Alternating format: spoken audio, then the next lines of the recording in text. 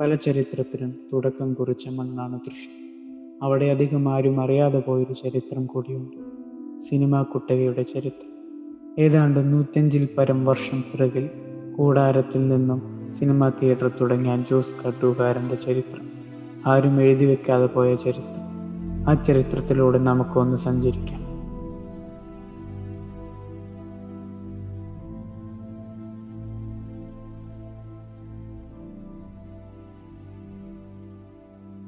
എന്റെ പേര് ബേബി എന്നാണ്. ഞാൻ ആയിരത്തി തൊള്ളായിരത്തി എഴുപത്തി ഏഴിലാണ് ഇവരുടെ കാട്ടുകാരൻ ഫാമിലിയുടെ ഈ സിനിമ ബിസിനസ്സിൽ കയറുന്നത്. അവിടെ നിന്ന് ഞാൻ ഒരു നാൽപ്പ നാൽപ്പത് വർഷത്തോളം സ്വപ്നയിലായിരുന്നു സപ്നയിൽ നിന്ന് അത് അവസാനിപ്പിച്ചപ്പോൾ ഇപ്പം ഞാൻ വീണ്ടും ജോസിൽ വന്നിട്ടുണ്ട്. ഇവിടുത്തെ പ്രൊജക്ടറിന്റെ കാര്യങ്ങളും എങ്ങനെ എ സിയിലും അതിന്റെ എല്ലാ കാര്യങ്ങളായിട്ട് ഇപ്പോൾ ഇവിടെ നിൽക്കണം ഇനി ഉദ്ഘാടനം കഴിക്കുന്ന സമയത്ത് അവർ അതിന്റെ മറ്റുള്ള എന്താ കാര്യങ്ങൾ നടപടിക്രമങ്ങളുണ്ടെങ്കിൽ അതവർ നോക്കുമെന്നാണ് പറഞ്ഞിരിക്കുന്നത്. ജോസ് കാട്ടുകാരന്റെ അപ്പനാണ്. ശരിക്ക് ഈ വാറു ജോസ് കാട്ടുകാരൻ വാറുവാണ് ഇതിന്റെ സ്റ്റാർട്ട് ചെയ്തിരിക്കുന്നത്. ആൾ കുറേ കാലം ഈ ഇതും കൊണ്ട് പിന്നെ ടൂറിങ് ഇറങ്ങും ഇന്ത്യയിലെ ഒരുവിധ എല്ലാ സ്ഥലങ്ങളിലും ആൾ എത്തിയിട്ടുണ്ട്. മിണ്ടാത്ത സിനിമയായിരുന്നു അന്ന്. അത് അങ്ങനെ കൊണ്ട് നടക്കുമ്പോൾ അതിനേക്കാളും ലേറ്റസ്റ്റായ മോഡൽ ഒരു വിദേശ ഉപകരണം കിട്ടി. ബയോസ്കോപ്പി എന്ന് പറഞ്ഞിട്ടുള്ളൊരു ഉപകരണം വേറെ കിട്ടി. അതും കൊണ്ട് പിന്നെ ഇന്ത്യയിൽ വന്ന് ഇന്ത്യയിൽ ഇങ്ങനെ നടന്ന് ഒരുവിധ എല്ലാ സംസ്ഥാനങ്ങളിൽ എത്തിയിട്ടുണ്ടെന്നാണ് എന്റെ അറിവ്.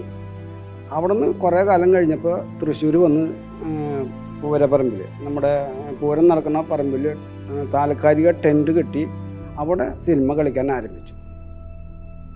ആ സമയത്ത് അതിന്റെ മുമ്പിലുള്ള സ്ഥലം ഇവരായിരുന്നു കാട്ടുകാരന്മാരെയായിരുന്നു അവിടെ ഒരു തീപ്പെട്ടി കമ്പനി ഉണ്ടായിരുന്നു.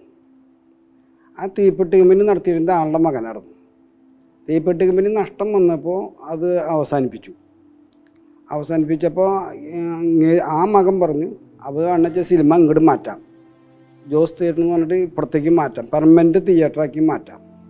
അങ്ങനെയാണ് കേരളത്തിലെ ആദ്യത്തെ പെർമനന്റ് തിയേറ്റർ വന്നത് പക്ഷേ സിനിമ കളിക്കുമ്പോൾ സംഭാഷണമില്ല സ്ക്രീനിന്റെ പിന്നിൽ ഒരാൾ ഇരുന്നിട്ട് കഥ പറയുക ചെയ്യുക ബയോ അതാണ് അതിന്റെ പ്രത്യേകത.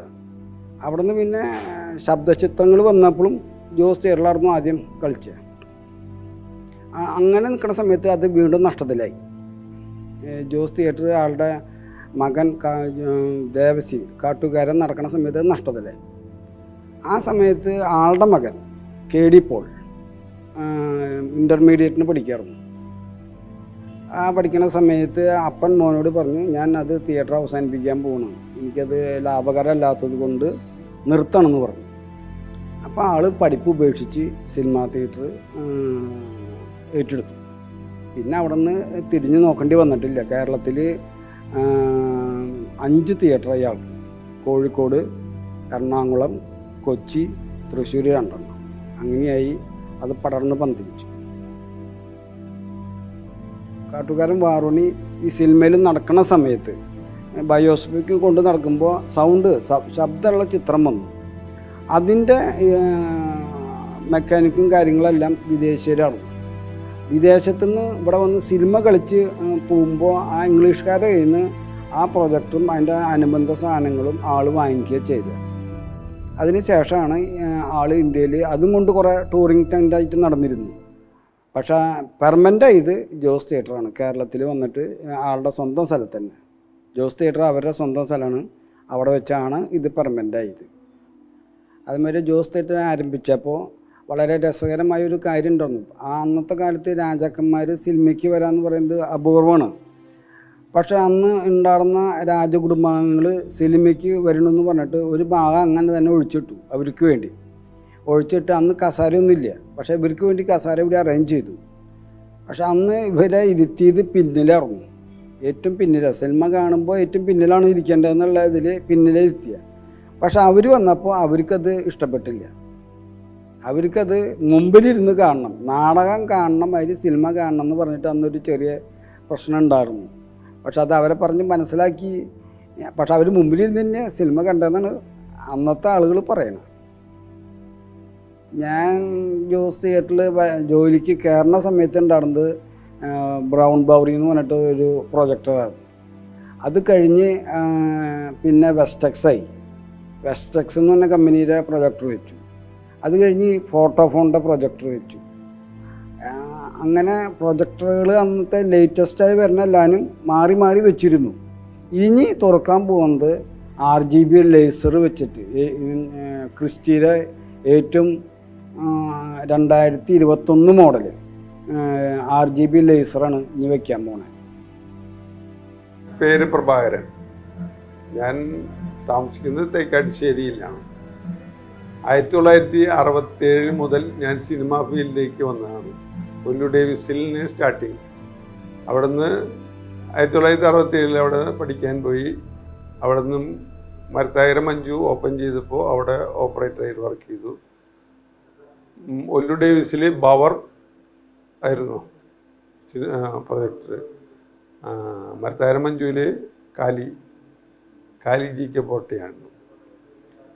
അവിടുന്ന് ആയിരത്തി തൊള്ളായിരത്തി എഴുപത്തൊന്ന് ജൂൺ പതിനെട്ടാം തീയതി Thrissur Ramdas movie house start ചെയ്തപ്പോൾ ഇവിടെ അസിസ്റ്റന്റ് ഓപ്പറേറ്ററായിട്ട് ഞാൻ സേവനം അനുഷ്ഠിച്ചു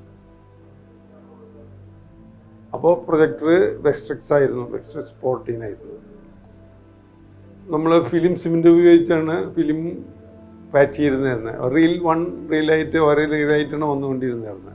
പതിനാല് റീൽ പാന്റ് റീൽ പാഞ്ച് റീൽ പാന്റ് റീലൊക്കെ വന്നിരുന്നു. അതിപ്പോൾ നമ്മൾ റീൽ കണക്കിന് പ്രൊജക്റ്റിലേക്ക് സെറ്റ് ചെയ്ത് ഈ രണ്ട് റീലായിട്ടാണ് നമ്മൾ പ്രൊജക്റ്റ് രണ്ട് പ്രൊജക്റ്റ് ഉണ്ടായിരുന്നു.